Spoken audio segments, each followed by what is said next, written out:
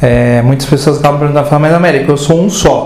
Como que eu consigo dividir o tempo para treinar uma pessoa e o tempo para o trabalho que eu tenho que executar? Tá? É, para que eu consiga gerenciar isso, tem uma coisa antes que eu preciso fazer. E que quando a gente fala só sobre tempo e time, tempo e pessoas, tempo e equipe, é, eu acho que esse é o grande pulo do gato, que pouquíssimas pessoas é, conseguem ter essa visão. Que eu acho que é até essa palavra, visão. O primeiro ponto, eu preciso ter claro qual que é o tamanho da empresa que eu quero criar. Porque sabe aquele negócio assim, ah, vai sem plano e a gente vai vendo, vai fazendo e vai acontecendo e vai indo, vai acontecendo, vai indo, vai acontecendo. Dá certo? Dá, mas para poucas. Com o plano dá 100% certo? Também não. Só que pelo menos já tem um mapa mais claro. E aí quando eu tenho esse mapa mais claro, eu consigo segurar um pouco a minha ansiedade, a minha é, necessidade, a minha pressa, porque tá claro para mim quais são as etapas que eu preciso com cada pessoa. Tá? Então é exemplo, né? Eu tive alguns exemplos na minha carreira no passado, mas agora teve um exemplo bem interessante.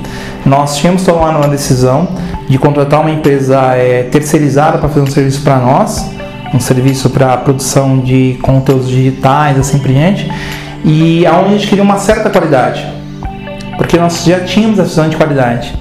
Só que essa empresa, empresa muito boa, ela ia levar muito tempo para atingir essa qualidade da forma que nós queríamos.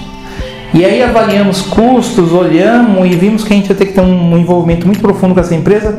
Resolvemos tomar um outro caminho, que foi o quê? Contratar uma pessoa para nossa equipe e começar a desenvolver.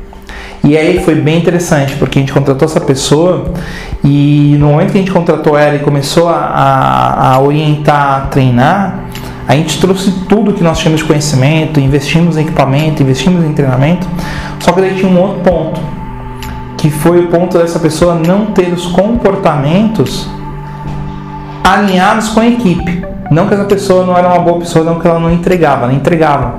Mas a nossa equipe em si já era uma equipe muito comprometida. E nesse ponto, que é uma visão estratégica também, que a gente precisa ter, né, quem está à frente de uma empresa, que é o seguinte, não é apenas de um funcionário, mas de uma equipe inteira.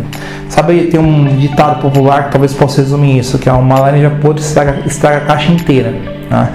É, então, os comportamentos dela e o comprometimento dela com a entrega da, para a empresa não era o mesmo que a equipe tinha. E aí eu tive que tomar uma decisão é, pontual e desafiadora, e esse é o maior ponto que as pessoas têm, que é o quê?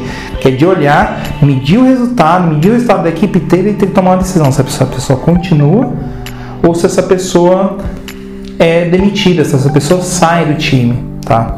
E foi muito é, bacana essa decisão, porque depois de uma vez que nós fizemos esse processo de demissão dessa pessoa, a gente reuniu a equipe inteira, eu reuni a equipe inteira e expliquei os motivos. E o mais bacana foi que eu expliquei os motivos seguinte, é, se eu olhasse só aquela pessoa, ela até fazia um trabalho muito bom. Mas se eu olhasse o nível das demais pessoas que estavam trabalhando comigo, nossa, aquela pessoa estava muito longe. Então, por uma questão de senso de, de justiça com todos aqueles que estavam trabalhando muito bem, eu não podia ter uma pessoa que estava com uma performance muito mais lá embaixo. E foi muito interessante porque a equipe começou a ter mais performance ainda, começou a ter mais comprometimento ainda, porque eles viram realmente uma resposta é, minha é, em relação ao que eles fazem e ao que em relação ao comprometimento que eles têm com a empresa. E não apenas com a entrega, não apenas em ser mais um, ou ser mais um funcionário, ser mais um estagiário, ser mais um no meio de todos, mas sim realmente dessa, dessa é, relação, dessa interdependência. Então isso foi bem interessante.